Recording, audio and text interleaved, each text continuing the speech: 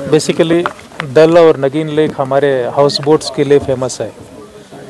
हर कोई जो टूरिस्ट यहाँ श्रीनगर आता है, उसकी चाहत रहती है कि मैं हाउस बोट में कम से कम एक मुकाम रहूँ, एक नाइट तो कम से कम गुजारूँ। और हाउस बोट्स पूरी तरीके से कंबस्टिबल इससे बनी रहती है, लकड़ी से बनी रहती है। जो हम आजकल वुड पॉलिश देते हैं, उससे ज़्यादा और आग फैलती है। तकरीबन दो महीना पहले यहाँ ही नज़दीक एक हादसा हुआ जिसमें कि तीन चार हाउस बोट्स डैमेज हो गई और कुछ एक लोगों को इंजरीज भी हुई।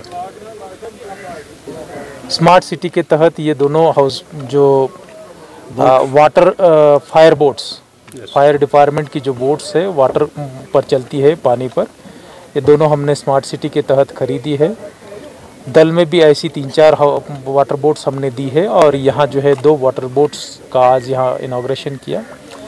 जो भी हाउस बोट्स है इस एरिया में और अगल बगल के जो घर है, उनको यहाँ फायर प्रोटेक्शन देने में उससे मदद मिलेगी।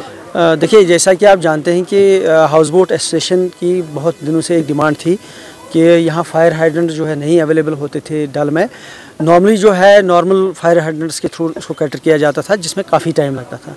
हाल ही में आपने देखा कि पिछले यू दिनों दो चार ऐसे ही अनफॉर्चुनेट इंसिडेंट्स हो गए, जिसमें हमारे जो है काफ़ी हाउस बोट्स को नुकसान हुआ।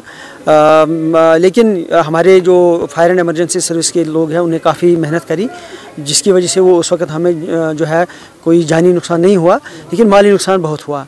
तो ये डिमांड जो है गवर्नमेंट के सामने जब गई तो इसमें ख़ास तौर से ऑनरेबल एलजी साहब के हम बहुत शुक्रगुजार हैं और चीफ सेक्रेटरी साहब के।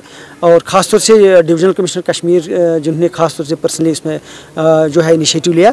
और आज यहाँ पे हम निगीन में इस तरीके का पहला जो स्टेशन होगा, फायर सर्विस स्टेशन, जो बाकायदा तौर मशीनरी के समेत इधर ही रहेगा और जब भी कोई खुदा न खासा ऐसा कोई वाक़ा होगा, आग जनी होगी या कुछ और होगा तो इमीडिएटली जो है फायर सर्विस की सर्विसेज़ यहाँ पे अवेलेबल रहेंगी, जिससे माली नुकसान या जानी नुकसान को कम करने में जो है मदद मिल जाएगी। मुझे उम्मीद है कि ये डिमांड पूरी होने से हमारे जो स्टेक होल्डर्स हैं, ख़ासतौर से जो हमारे मंजूर वांगनू साहब हैं हबीबुल्ला वांगनू साहब हैं, जो पेश पेश इसमें में रहे हैं इस डिमांड को बढ़ाने में, उनको आज मेरे ख्याल से एक शाबाशी का मुकाम है उनके लिए, कि और सारी जितनी हमारी फ्रेटर्निटी है उनके लिए जो है एक खुशी का मौका है। कि आज ये फैसिलिटी उनके लिए अवेलेबल हो गई है। और भी कुछ उनकी डिमांड्स है जिस पे एक्चुअली जो है गवर्नमेंट प्लान कर रही है। और हाल ही दिनों में आपने देखा होगा कि कंसेशनल रेट्स पे जो लकड़ी देने का मसला है, खासतौर से देवदार लकड़ी तो वो भी गवर्नमेंट ने कंसिडर किया। उसके लिए भी हम ऑनरेबल एलजी साहब के बहुत शुक्रगुजार है। और चीफ सेक्रेटरी साहब की जो पर्सनल मुदाखलत उसमें रही है, उसकी वजह से वो पॉसिबल हुआ। और उससे भी हमारे जो स्टेक होल्डर्स हैं, शिकारा वाले हैं हाउस बोट वाले हैं, उनको काफ़ी फ़ायदा होगा। और इस इंडस्ट्री को जो हमारी हेरिटेज इंडस्ट्री है, खासतौर से जो हमारा ब्रांड है पूरे मुल्क में, पूरे कंट्री में और पूरी दुनिया में वो हाउस बोट और शिकारा ही है जिसकी वजह से कश्मीर टूरिज़्म जाना जाता है। इसको बढ़ाने के लिए और उसको और इम्प्रूव करने के लिए हमें मौका मिलेगा। मुझे उम्मीद है कि ये दोनों डिमांड जो पूरी होगी है हाल ही दिन में और आज जो ये फैसिलिटी क्रिएट हो रही है ये एक अच्छा अच्छा एक शगुन है और टूरिज़्म को प्रमोट करने में इसे और भी मदद मिलेगी। आपको याद होगा हाल ही में यहाँ पर आ, कुछ वारदात हो गए कुछ हाउस बोट चल गए चाहे वो डाल में हो या निगीन में हो। तो फिर दिसंबर के महीने में मैं अपने डिविजनल कमिश्नर साहब के पास गया उनसे रिक्वेस्ट किया कि यहाँ पर ये जो फायर इक्विपमेंट्स है ये यहाँ पर लगने चाहे चाहे निगीन में हो या डल में। तो ऑन स्पॉट उन्होंने दो निगीन के लिए अप्रूव किए।